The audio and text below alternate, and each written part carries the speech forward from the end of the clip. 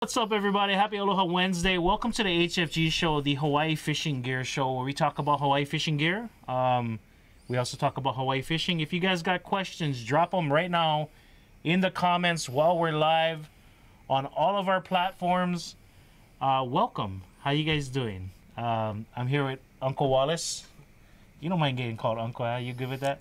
I, I've accepted it for about five years. It's a hard pill, man. It's a hard pill. You got to realize, ah, bruh. everybody calling me uncle. It is what it is. Uh, while we wait for people's questions to fill in in the comments, uh, let's talk about some brand new stuff on hifishgear.com. If any of you guys make glow spider flies or glow squid flies, you will be happy to know that now on hifishgear.com, we got the little glow squid legs. Um, they are called Silly Legs. Silly Legs, they are from uh, Semperfli. You may have seen different versions around the way. We got pink glow. This one is a white and green glow, a little bit of speckled colored on those little silicone legs that everybody uses for their glow flies. Now available on hifishgear.com. This one is a dark yellow, glow in the dark. Three different colors now available on the front page of our website. And then also, did what happened? Did they discontinue a different eye or something, or this is just a new Uh, one? another brand that we carry discontinued some of their stuff. So Okay, so we reached out and grabbed the different brand stuff. Yep. For you guys that like 3D style eyes, little dome shaped eyes for your flies and stuff, gives you a little extra bulk, especially because it's already filled in. Uh, 3D epoxy eyes from Semperfli are now available on our website. You may find some of the other flies that you've been buying are no longer available on our website because they discontinued it, and now we got different eyes. They're little dome shaped eyes, all the same size, huh? There's four colors and three different sizes. Okay, so we only got one size here, but the other ones are there. Yeah. Okay, Pearl, Sunburst, Bloodshot, Neutral. You guys go choose the one that you like on our website. The nice pictures on our, online already. Um, we also got restocked Kaku lures um, earlier in the, I think it was late last week. Uh, but half ounce casting minnows, Oh, uh, yeah. one ounce casting minnows, uh, some of the traditional anti Sharons and stuff like that, all restocked. If you want to check out Kaku lures, if you haven't, if you didn't get the notifications when they got restocked, go check out the Kaku lure stock. A lot of local made products in that. And uh, let's go through. Did you see any questions yet? Yep. On the top. We also got restocked on some tubbies, some lines, some hooks. All today, yeah. Yep. Uh, BKN 22, good for bait casting. Absolutely. Uh, size 22 is when you're getting into that taco leg category or small bait fish category. 18, size 18 and up is the taco leg, fat taco leg. Below that is small piece taco leg. Uh, but size BKN 22 is a great size for bait casting. Where can I get a SPX 10 foot 6 rod? You FAKA 92 go to SPX Rods on Instagram, send them a DM. There you go. All right. What's up from Maui? How you doing, brother? Aloha. And okay, no more. That's all pretty much the questions on this one. People call me uncle, and they're not even more than ten years younger than me. Yeah, it happens, brother. It, it, it is what it is. I remember the first time someone older than me called me uncle. I'm like, but the guy was just kind of he wanted something. uh, check out SPX Rods. If you can't find his Instagram, send me a DM. I will um, I will send you a, a direct link to his account so you can get right in touch with Mr. Storm and uh, maybe snag one of the next SPX uh, rods off the thing. It is the beard, Salty Levi. I agree. If you, if you like rock one gray beard, you best be prepared to be called uncle. The salt and pepper look, man. Salt and pepper. Nah, it's not kayo na. It's got alai and alai and limu. Ogo. Extra vitamins. all right. all right Not a whole lot of questions. Uh, let's see. Let's let's start the conversation. Um, not a whole lot going on. The um, the kids thing. Oh, shh, thank you so much for reminding me. I don't know why I keep spacing on it. All right, uh, I wish I would have started this right off the bat, but here we are, four minutes and 42 seconds into the video. This Saturday, we are having a DAR, Department of Aquatic Resources, fishing pono class here at the shop. Uh, Freedom Church next door is uh, the church that right next door to us. Uh, shout out to Pastor Junior for letting us use their space. We're gonna have a keiki fishing class. Um, there are still spots available. Just a few spots left. If anybody has a keiki that they want to attend the class, it is Saturday, 10 a.m. to 11 a.m. You can get in, you can get out. You can have the whole day after. If your kids get soccer practice or football games or whatever, you can still take them after if it's not early. Send me a direct message on Instagram, Facebook. Uh, send us an email, sales at High Fish Gear. Give us a call at the shop tomorrow, 808 689 6368. Get your kids signed up. It is a going to be probably about an hour presentation. There's going to be some talks about sustainability, fishing regulations. There's going to be some games. There's going to be some materials given from the Department of Aquatic Resources. Um, you are invited to come with your keiki. Uh, we only did 20, 20 kids this time around. So if their parents come to it, we can fit up to 40 people, no problem. Uh, if you got more than one kid, not a problem. We will make room for it. Every kid that shows up uh, out of that 20 will get a free whipping pole and a little bag of tackle that they can use for it. It's to get them off, started off on the right foot. And some of you adults that attend with your keiki, you might learn something too. Yep. I think you might learn a little something that you didn't know. Um, they're all going to leave with regulation books. They're going to leave with uh, materials from DAR, and like I said, a free rod. And it you they can go straight whipping right after. I remember getting a video from last time we did it. Um, some guy took his kid and he just immediately fell in love with fishing. It it's a great way to get them started. Uh, to realize why it's important to fish with sustainability in mind, why it's important to know your regulations, because it's not just to make your life harder. It's to you know make sure that our fishery stays around longer than you know longer for us. So our keiki can fish too, and their keiki can fish too. We're not just you know pulling everything out of the ocean just because we can. You know. Yeah. All right. So, Saturday, this Saturday, April 13th, there are still spots available. Please reach out ASAP 10 a.m. to 11 a.m. this Saturday at the shop. It's free. All right. What's the lure ratings for Nitro C-Tech rated 17 line capacity? 1.5 ounces. 1.5 ounces is the suggested. What's yours? One? One. Wallace says one. I say 1.5 ounce on uh, Hammer Bomb, no problem. I've snapped three C-Tex with 1.5. Okay. So we call it one and a quarter. One and a quarter. One and a quarter, Glenn. There you go. All right. We Portuguese. Okay, let's see. Uh, mean lure rating. Best hook and size for Ninui, Ninuis and Polanis. Aji size 6. Aji size 6 or uh, Gamakatsu octopus size 5 or size 6. Yeah. Those are great ones. Black hook, hide them in the limu. Black hook, hide you know just hide them in whatever bait you're using, whether it's bread or uh, or limu. Aji octopus or um, what's the other one called? Mosquito hooks. They all Mosquito work hooks are always good. Advice on choosing flies for Omilu when using bubbles. Um, dark color, light color. Don't even don't even stress about the colors.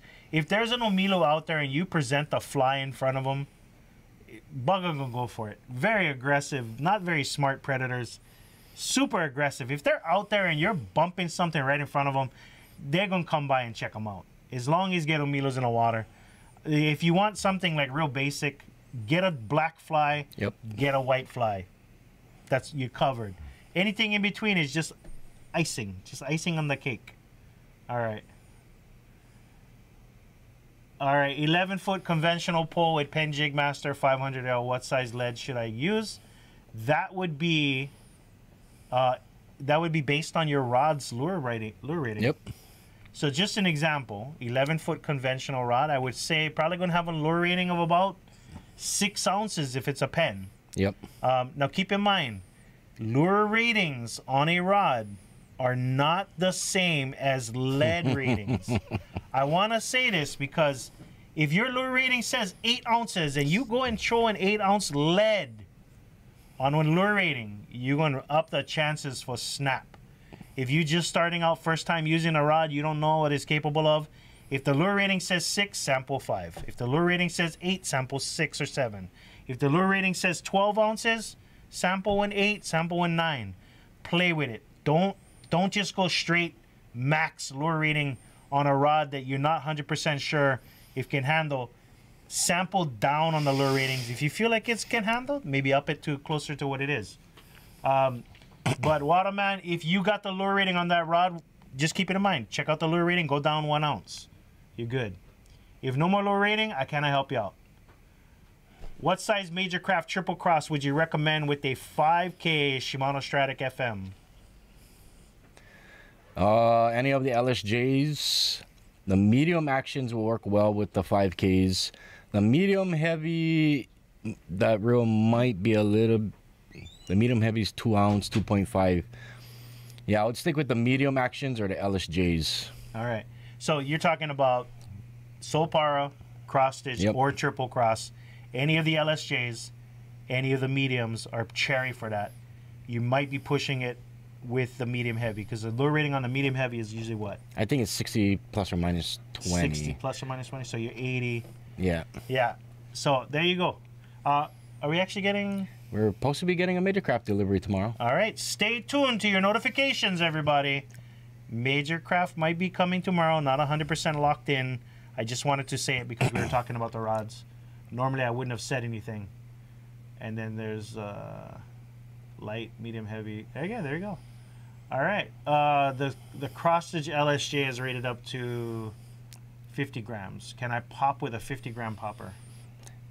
The LSJ and a 50 gram, it can handle, as long as it's not a really big popper, it's going to handle a 50 gram. It's actually rated 40 plus or minus 20. That uh that ounce and a half or ounce 1.4 ounce popper should be Oh, cherry for yeah. that. Yeah. The governor of Guam, you know that 1.4 ounce that we popped up. What's up, only flies? All right. Yakima or Thule for bed racks? Hmm. Yakima. Yakima. I like I like Yakima stuff. For some reason I I've checked out both. Thule seems really expensive and aluminum. When I look at the Thule racks, all I see is oh scrap metal cuz aluminum. I uh Salty Lavaya. I live Ewa Beach. I know all the chronics. I'm not gonna be rolling around with aluminum racks on mine. That thing will be gone. And I know the brothers that work Reynolds. no, I, I, you know, I always plus the the Yakima stuff is all black. Yeah. My truck is black. My Jeep is black. Uh, I got I got Yakima fat cats on my Jeep. I got Yakima uh, just other they're ski racks. If you guys ever know what the the pole holders that everybody get on their trucks, they're ski racks. They're made for skis, but hey, they work for fishing poles Yep. get something like a Yakima, get get one of those things because you try to make your own, you're gonna be whistling on a freeway. I tell you right now, these things are designed to be operated at high speed. You, you try to make your own, or you try to grab one one knockoff version. You're gonna be whistling. You're gonna be making noise on a freeway. Not a, not a fun day. All right. Um, what is the best ulua bait?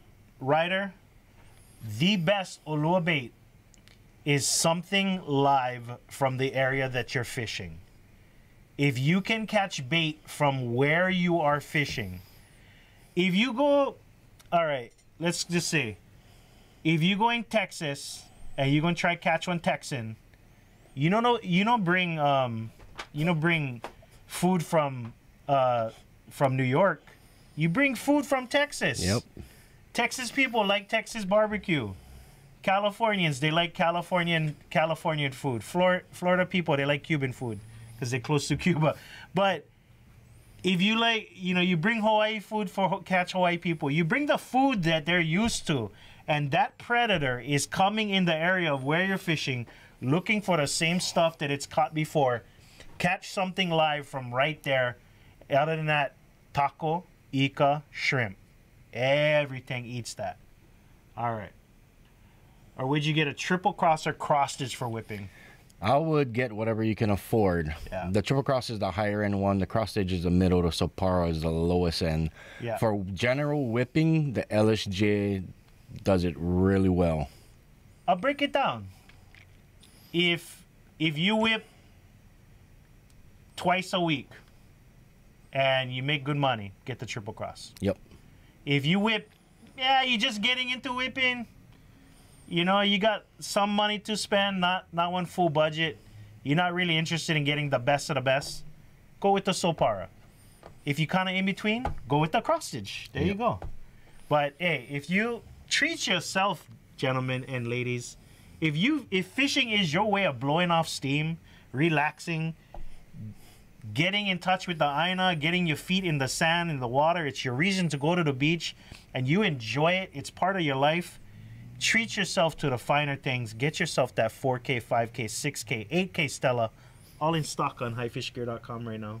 Just gonna say, tell you Wahina, you earned it. You earned it. you took out the trash eight weeks in a row. All right. LSJ cripple ch- triple cross. Yep. Yep. Is there any major craft with titanium guides for whipping? Not available to the U.S. market. Wah wah wah. JDM. All right. Uh, is Penn Warfare discontinued? Jaren, I think it might be, dude.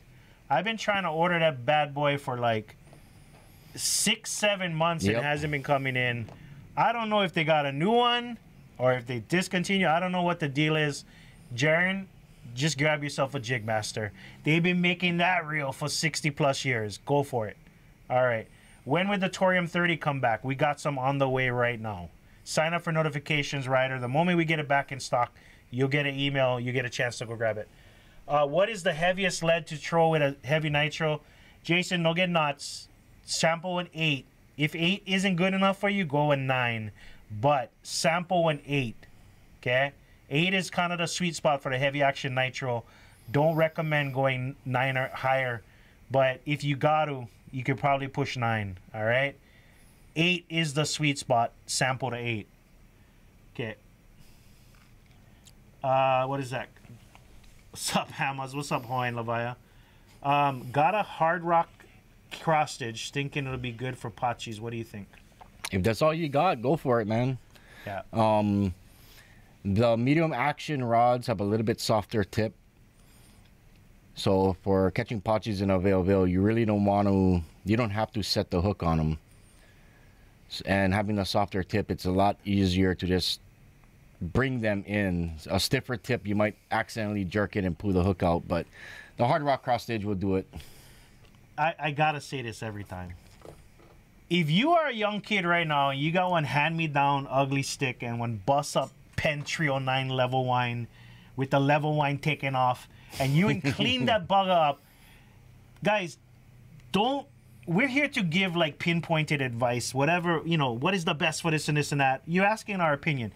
Use whatever you got. If you got one trolling rod with one Spinfisher 850 SSM and that's all you got to go fishing with, please don't get caught up in this or that. Some of us are off the deep end on what we fish with. Some of us have gone so deep down the rabbit hole, there's no turning back. You guys, please, just please use whatever you got and go fish. The main thing is, is just get some hooks wet, get some bait in the water, play around. I tell you, every time I see you in kid, just using any kind, Yep. any kind, it warms my heart because guess what? I've been there. I've been there. I've been there, and it. I love seeing it. I'm not gonna walk over and go, brother. That rod doesn't match with that reel. I'm not gonna say it, and if somebody does, you tell me who said it. I'm gonna lick that. Don't judge other people for their stuff. Just main thing is just go have fun. All right, please go fish. Don't get caught up in what's the best rod for this, the best rod for that. If you cannot afford one uh, Shimano Stratic and one Major Craft rod, don't matter. If all you can grab is one GX2 and one freaking FX, Yep. go fish, please. All right. I get 13, 113 WS and 6 O's was thinking about selling my Warfares. Um, sell them. Not discontinue. You're not going to get extra money. That's on a low end reel. Just dump them. Dump them. Ask 60, 70 bucks. Uh, Sharks Cove is a reserve. No can fish there. Yep, you're right. You're right. Oh, can you fish at Sharks Cove? Is it protected? Is there a flat rocky area next to it? XNIPR. My suggestion is don't don't go anywhere near there from fishing. From I don't even think you can fish Waimea. No, there's also boundaries at Waimea. There's boundaries. Guys, just stay away from Waimea Bay all the way to Sunset, right? Stay away from that area. If the regulation's not going to get you, the surfer's going to get you. Don't, you just just stay away from that area. There's so many other places It's to not fish that worth side the of the risk. island. It is not worth the Not risk. worth the the locals up there, even if you're in a legal area, the locals will call to get you checked out. Yep, yep. I think the last time I heard somebody get one citation was in, in that area. So please. Okay, uh, somebody's asking where and what time is the keiki class? The keiki class is this Saturday, April 13th, 10 a.m. to 11 a.m. There are still spots available at the time I'm making this video. If you send me an email, you send me a direct message on social media, talking, send it to the High Fish Gear account, send it to my personal Facebook account. I want to get this filled up so when DAR comes down, they know that we mean business and we want to do this on a regular basis. We want to spread information and knowledge and get as many people covered as we can. And I know that some of that class is going to help the parents as well, you know?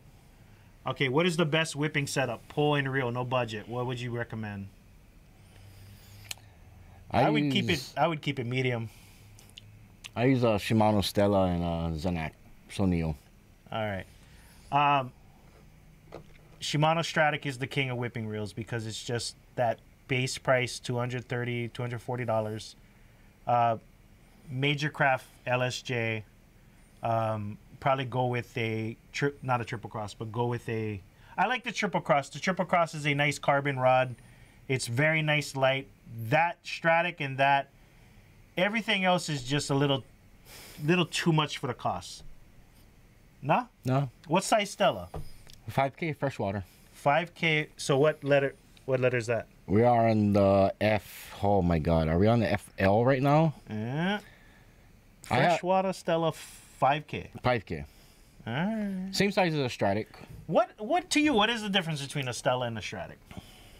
Feel wise, not no. Don't tell me the stat, the specs. I can look up the specs I can I can feel the the difference in the smoothness. on a scale of one to ten. And when fighting a fish. FX being a two, Yep. Sedona being a four. Strat Stratic is what? I would give the Stratic a nice solid seven and a half. And then a Stella is what? About a nine. About a nine. What's a ten?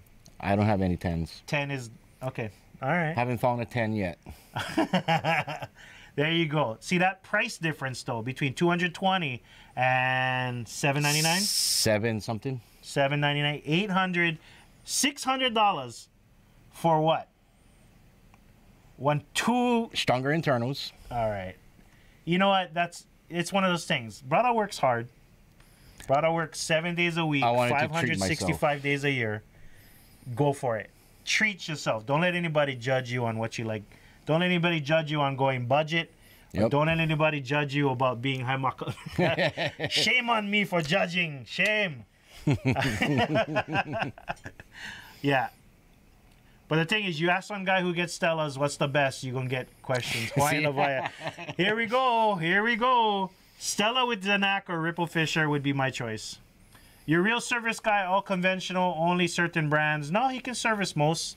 Uh, what brand you get, Reed? You got an Abu, huh? I tell you right now, Frank is the Newell Whisperer. Yes, he is. He is. is the Newell Whisperer. Uh, but he's good with Shimano's too. He can actually do your double dogs on your 50s. All right. Uh, my kid's slaying the Nui with the reels I got off of auction. Awesome.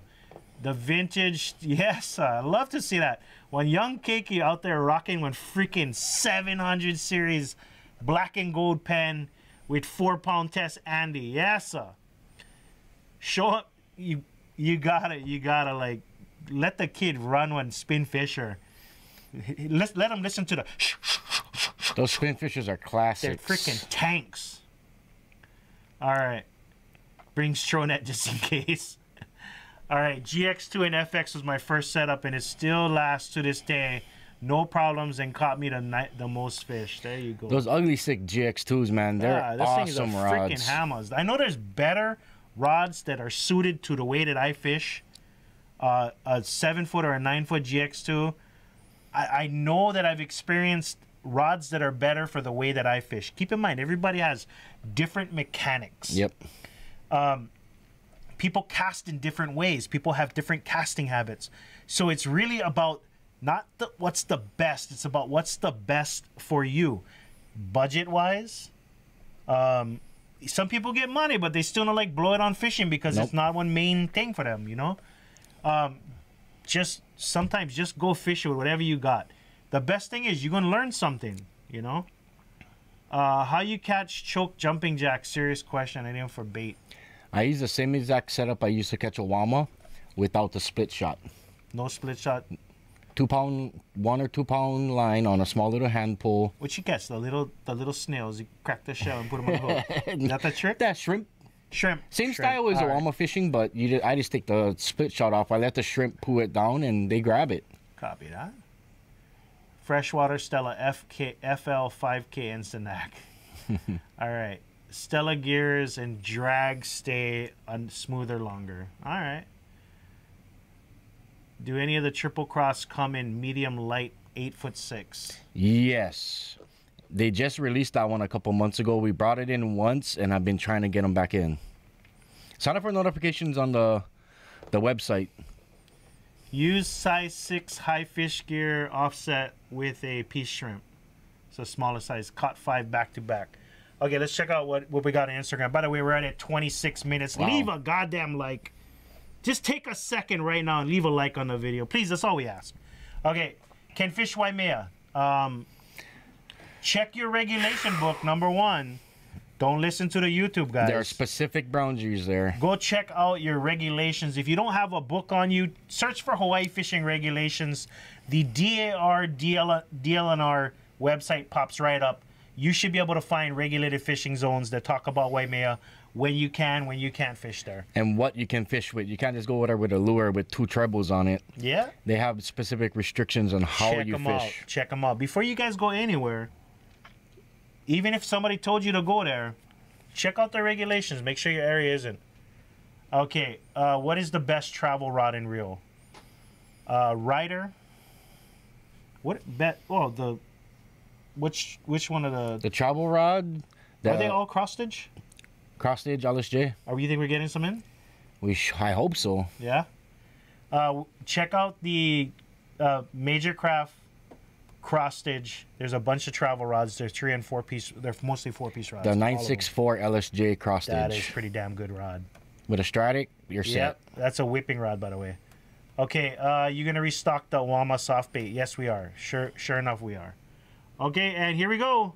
Can we see some of your recommended trolling lures? Not at the moment.